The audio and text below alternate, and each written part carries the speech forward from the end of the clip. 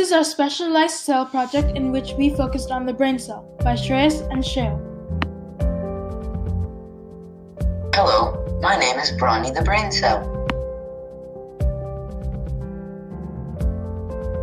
I was born in the brain.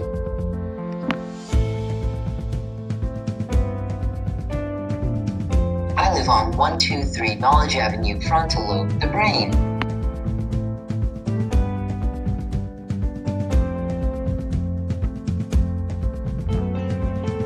Here are some pictures of me.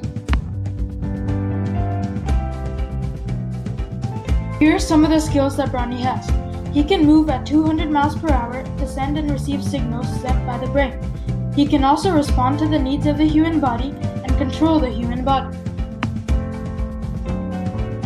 Another skill that Bronny has is that when an electrical impulse arrives at his dendrites, it moves through his axon and to the axon terminal, where it travels through the synapses, which are gaps between neurons, in the form of chemical signals with the help of neurotransmitters, and arrives at the dendrites of the next nearby brain cell.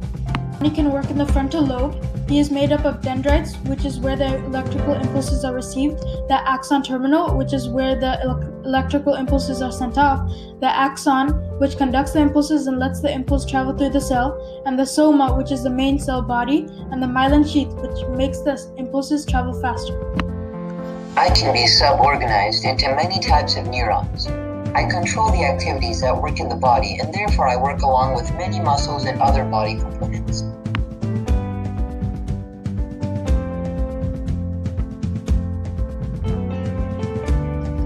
I am trying to earn a job in the headquarters of the human body, the brain. I have many skills that are perfect for working in the brain. Therefore, I make the best suited applicant for the job.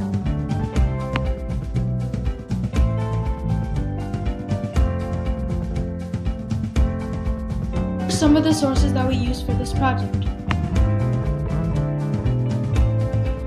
Thanks for learning about me.